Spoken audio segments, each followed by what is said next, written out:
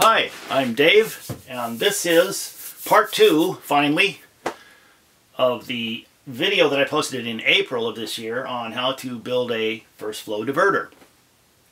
Uh, in this part of the video, we're going to look at how we drill the holes in this pipe.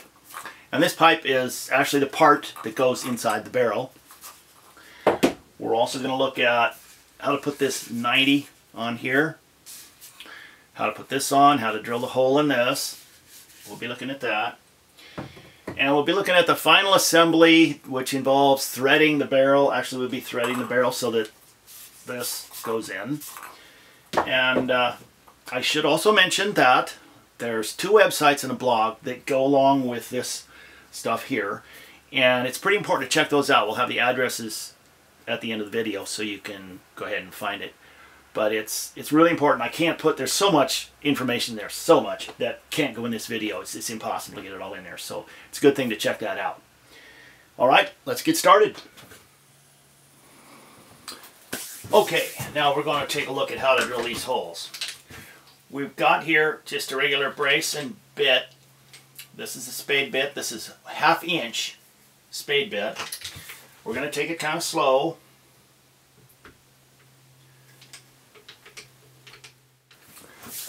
Okay, and the slip cap, same size hole. Uh, I would drill two holes in it. Just one, one right in there, and one right in there. Okay, there it is. Okay, now, the hole that we drill for this, right here, is going to be done with a 1 and 7 8 inch hole saw.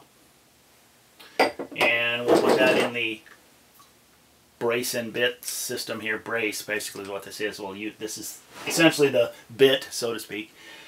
But that's the size, 1 and 7 eighths inch. Okay, we're going to look at how to drill the hole for the output. And we're going to do this, we're not going to use power tool, we're going to do this with basically a hand drill. Okay, as you can see, it works is going to take some time. So do... Okay, we've got the hole drilled. And I sanded it and smoothed it.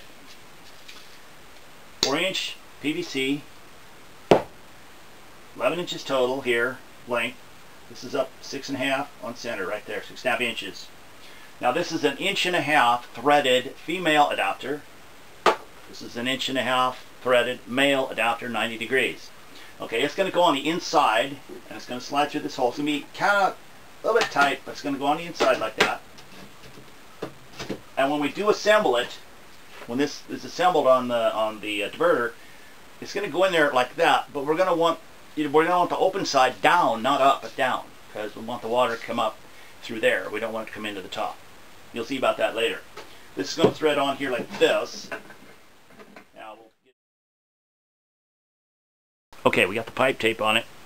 This is what you're going to want to see.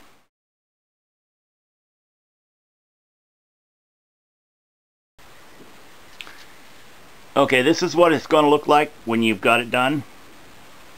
You can see the pipe tape in there.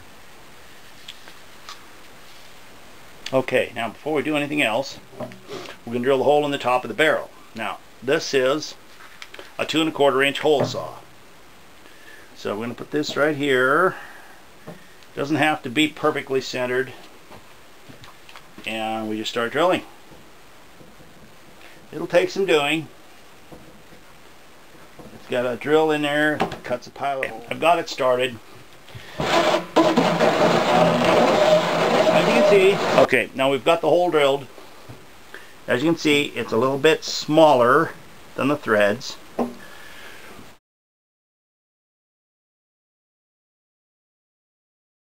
So we're going to thread this. Now, it's going to take some pressure. We want to make sure it's straight, so we're just going to push on it. We're going to turn it.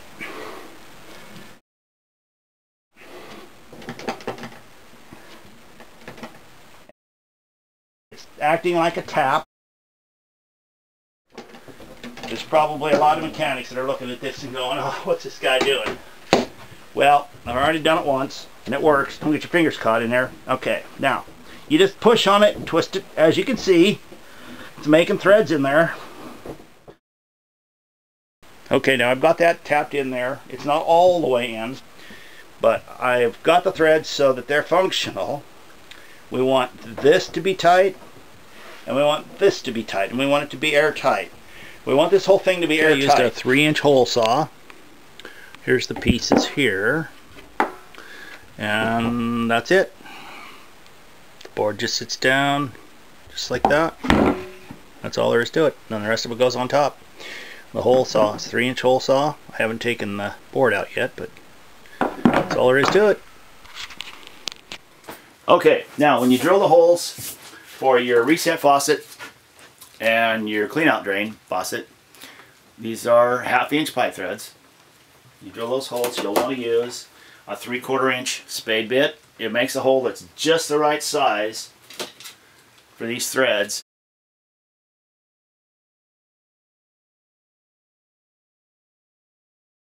This is the half inch fitting threaded adapter that'll go on the top. That's where your vent's going to fit in. And you'll just set it at 90 on there and just start turning and pushing gently, just like we did on the big one. And it'll make its own threads.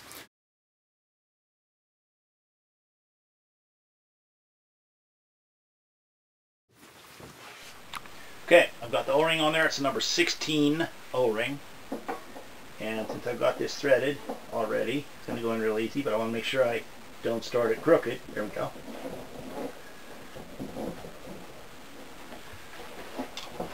So we'll just tighten that up. Okay, now we're going to look at the final assembly, and first we're going to look at the float valve assembly. So we have a ping pong ball, we have a slip cap, half inch slip cap goes on this pipe. We have this adapter here, which is an inch and a half adapter. We have an inch and a quarter pipe. It's beveled on the bottom. This is the adapter. The little groove goes on the top. So we sit like that. This is going to go in here. There's an adapter that makes it fit. This slides in here like this. We want to make sure it's tight. Okay. Ping pong ball goes inside. Slip cap goes on. We make sure it's tight. This is going to go in here like this, but before we do that, we're going to see how this works. We're going to just a little demonstration as to how this actually works when the water comes in here. We got a pond here, and we're going to look at what happens when the water comes in. Okay, we're going to gradually submerge this. See how the ping pong ball is floating on the water? It's sealed. We're in the water, but it's not coming through. Okay, now we're going to look at how this is installed. Now, if you remember, I showed you how to thread this. This is already this is already threaded. We're going to put this in carefully. We want to make sure we start it straight, and that should, when that starts, it should spin freely. You don't want to cross thread it. There we go, just like that. I'm going to hand tighten it. And make sure it's snug, not overly tight, but just snug. Okay. Now remember, now this is the vent, okay? This little screen keeps critters out of it. Remember, we tapped this the same way we tapped this. Now we're going to install the vent. This is the number 16 O-ring. We do this also, we do this carefully. We want to make sure it's straight. It should go in nice and easy, just like that. We're going to tighten it up.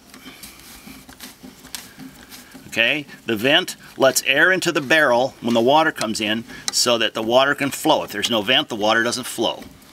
Okay, there we go. It's tight, it's in there. Okay, okay. The next step is to install the brace. We do that now because we have to have this open to get it over there, just like that. Remember this was the three inch hole. Here are the boards that go on the side. Okay. All right, and then next, we're going to look at the standpipe and the adapter that's going to allow us to hook the standpipe up to the float valve assembly. The standpipe has in it an elbow. The water comes in and flows past this elbow, goes through here, goes through this and into the barrel. It fills up the barrel and raises the ping pong ball up until it gets to that pipe and then it seals it and then the water keeps flowing in here past this opening, flowing in here, fills this up and eventually it's going to come out here. Okay, this is the adapter that lets us hook it up. It sits just like that. It's going to sit down like that. Now, before we do that, we need to put in our bottom strainer. Goes right in there. just like that. Okay. Next, we need a coupler. This is just a coupler, allows us to hook it up. This is a 4-inch coupler. Okay. Now the standpipe goes with this up. We don't want this down. We want this part right here to be up. Okay. Next step, we put our adapter on top here. Okay. We're getting close to done. Now, remember there's a little groove inside here. This is the top screen. It sits right in there, just like that. Okay, now put the downspout on. Here we go. One more thing. We have our output pipe. That's going to hook up here. And that's going to hook up to storage barrel, which is also vented. And we are done.